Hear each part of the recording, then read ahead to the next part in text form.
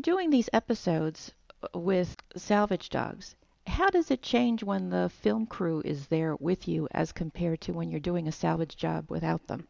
Mike, you think we work harder? You know, I, I honestly, looking back on it, we've uh, our uh, operational schedule has increased dramatically since uh, we started doing the show because the show depends on a salvage project for each episode, and uh, that fodder you got to have fodder to to to make a make this television show, and uh, so if we might do six salvage jobs in a year, we'd be busy um, years ago, and that's in itself is a lot of work. Last year we did 26 salvage projects, and uh, in each one of them, you know, we want to obviously we want to get the job done, and we want to we want to create these episodes, and we want also each deal is a is a salvage project, and you know, it's a business deal, and uh, we got to get it done time is of the essence. Uh, the television folks have a limited uh, attention span when it comes to doing a, a project where we know it might take five days to get this project done, but I know that they're going to lose interest and get what they need in two, and yet I still have to get this project done.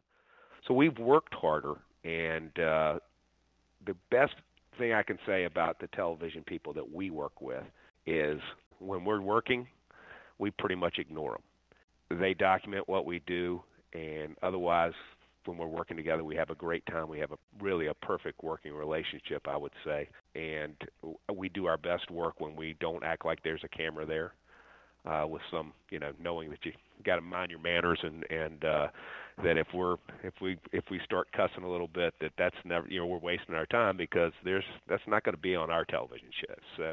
So um, we get right, we get a chance to Come on. we get a chance to, yeah yeah we get we we try to be our you know look our best on the thing but we're we've got a, a job to do and we get it done and, and it just so happens I think that it's fairly interesting to watch.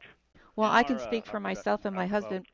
We love it and we appreciate that you're tearing up a building instead of each other.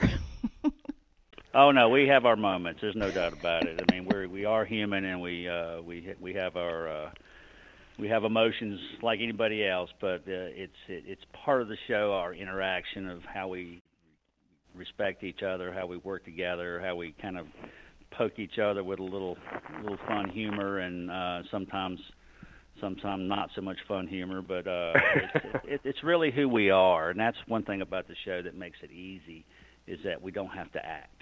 It's it's really us and we have a the production company really just uh, Trailblazer Studios out of Raleigh, North Carolina. They follow us, and we've got such a good relationship after 85 episodes that it's it's almost second nature.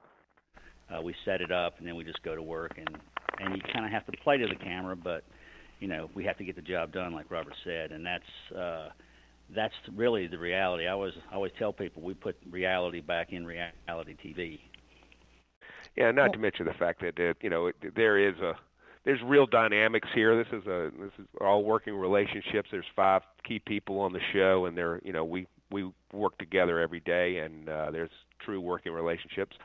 Not not all positive, um, but certainly we respect each other and we try to lead by example. Mike and I do, and and there's not a, a darn thing that we uh, would ask somebody to do that we wouldn't do ourselves. And in fact, most of the time we'll we'll step up and have to do it ourselves instead of putting somebody else in possible danger. But uh, who wants to watch people disrespecting each other? You know, on take your time out of your day to watch television to watch people be uh, rude to each other is uh, not something that I'd want to do. So therefore, I would would hope uh, you know that's one of the, the the appeals to the show is is there's not any made up drama, and there's not uh, unhealthy relationships. I would say